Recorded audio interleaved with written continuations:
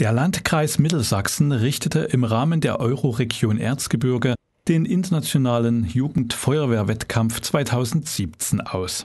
Dieser stand unter dem Motto Vorbereitung der Jugendfeuerwehren auf Hochwassergefahrensituationen.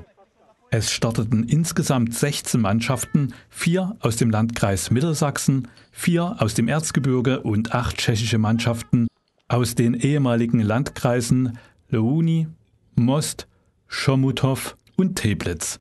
Eine Mannschaft bestand aus fünf Wettkämpfern, wobei mindestens ein Mädchen dabei sein musste. Elf Stationen rund um die Jugendherberge Falkenhain galt es abzuarbeiten.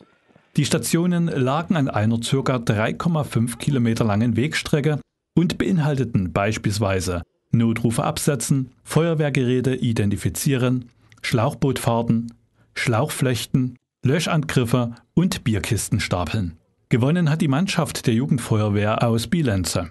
Den zweiten Platz belegte die Mannschaft aus Lennesice A und den dritten Platz belegte die Jugendfeuerwehr Niederwiesa.